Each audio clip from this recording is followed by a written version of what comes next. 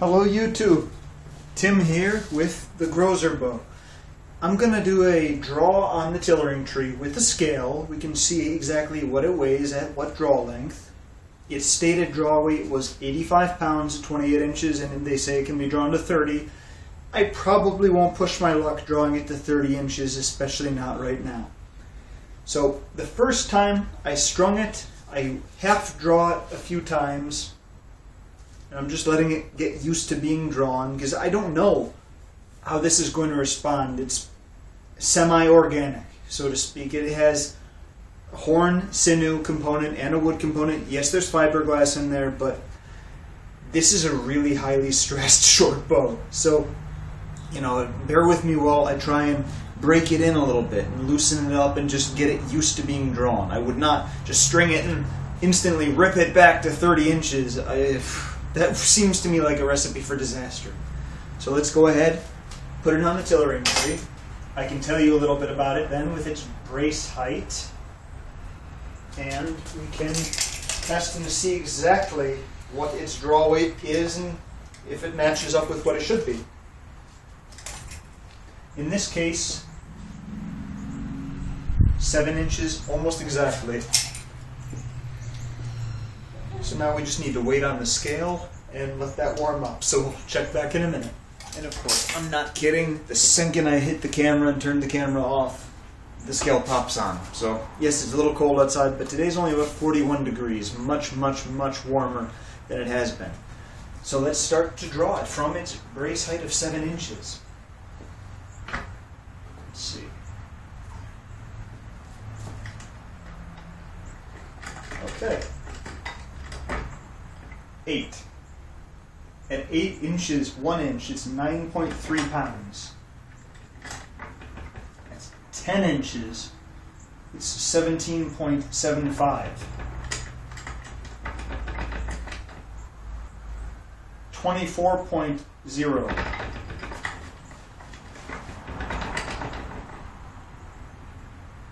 Twenty-nine point nine.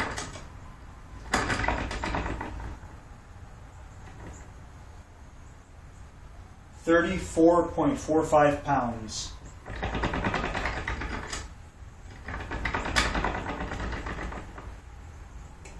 Thirty-nine point one five pounds.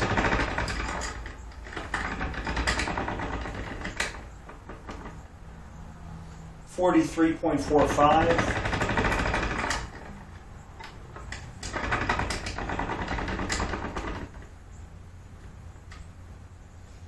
Forty-seven point one. Okay, and that was at eight plus seven, so fifteen inches. That's not bad. We are approximately halfway there.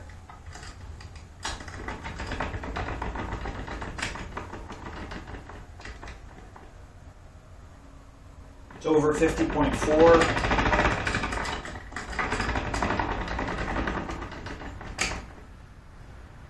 point four. Yep, fifty point two. At the same distance. I drew it twice to the same distance there. 16 inches that was. Down to 17. 53.85.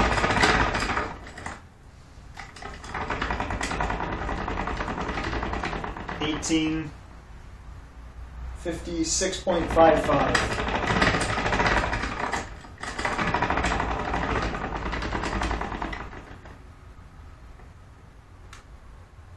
Fifty-nine point one five at nineteen inches. Twenty inches. Here we come.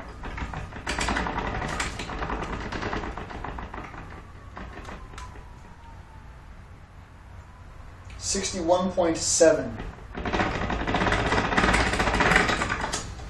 This is quite a hefty bow, as you'd expect. And believe me, I can tell it really compresses the body when you draw it. I feel my joints compressing and my whole body just getting shorter and tighter under the pressure of it. So it's it's a heavy bow. 21.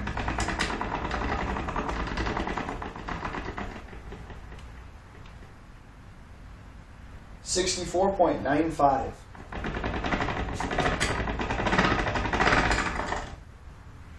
22.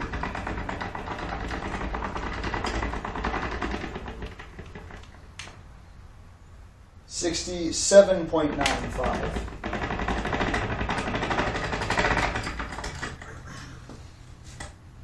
Twenty-three.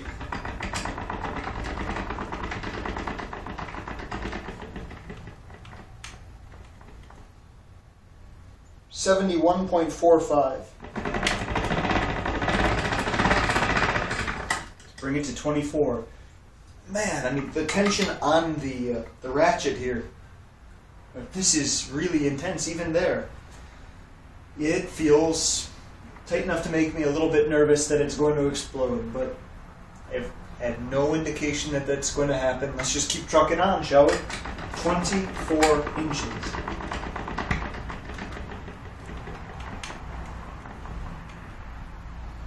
Seventy-five point five pounds.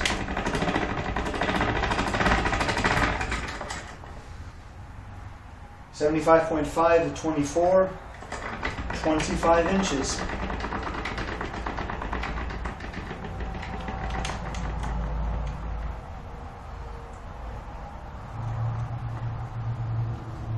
Eighty point six. At twenty-five.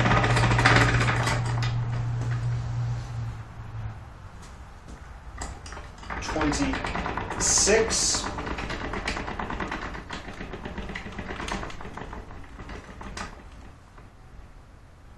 Eighty-six pounds. And that is basically what I'm going to call full draw. Here's my theory. The whole idea of a draw length is a very, very dodgy thing because I feel, in in a way, manufacturers wanted to standardize the measurement. And so, in doing so, they created an artificial additive to a true, what I would call the true draw length, from the belly of the bow to where the string is. And they add about 1.75 inches. That's simply the way the I think the archery manufacturers organization does it. And that way you come up with to me a sort of hard to deal with number because it doesn't really reference anything static. If you have a bow with a narrow handle, you might find that uh, it's not appropriate. If you have a bow with a thicker riser, I don't know. It just seems to be an attempt to mark almost where the the point that you wouldn't want to normally pull the arrow past. With a bow like this, theoretically, you can even pull it past if you use your thumb in such a way. Some of the old archery manuals talk about that, overdrawing just slightly with the, crook of your thumb like this. I won't do it, but nevertheless, draw length is weird. I like a nice fixed draw length, especially because the way I measure draw length from the belly of the bow, it also corresponds to your brace height. Because now we say you have a brace height of 7 inches. Your draw length is 26 inches. 26 minus 5, or 7, I'm sorry. We have a 19 inch power stroke. It's simple math. The other way, oh, you have a 28 inch draw length, but you have a brace height of 7 inches. Well, okay, 28 minus 1.75 minus. It's complicated, it seems unusual, and that's me. You do it however you guys like, but that's how I like it. It seems to me that 26 inches is truly where this bow is meant to be. Really, I bet 26.25 inches is where Grozer determined 28 inches in the AMO standard should be. Per AMO standards, that's totally correct. So let's go and now that we've drawn the bow, I'm going to draw it a few times halfway by hand, fully by hand, if I can, and then we're going to shoot it.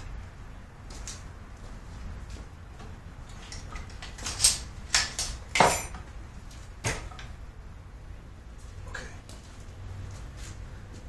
Half draw. And I can tell you, that is really freaking hard because that puts strain on every part of my body when I'm just drawing it halfway. I'm just trying to let the bow taste it and again work itself in on the theory that if I pulled it cold to a full draw, that could be really bad. One more half, hold it for one, two, three, four. Who needs a workout machine? Who needs a Bowflex when you've got a bow? Wow. I'm probably going to be feeling this here and here tomorrow. And that's only from a few seconds. Full draw.